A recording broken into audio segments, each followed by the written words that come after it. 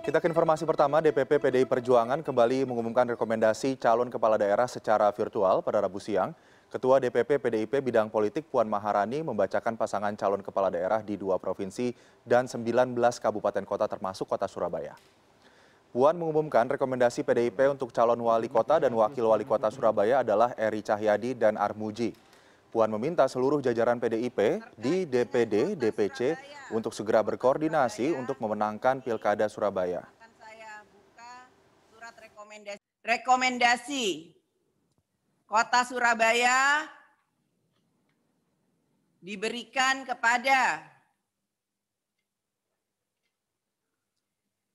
Eri Cahyadi STMT dengan Armuji MH Ar Art sebagai calon wali kota dan calon wakil wali kota Surabaya periode 2020-2025. Merdeka! Bravo! Ayo semangat!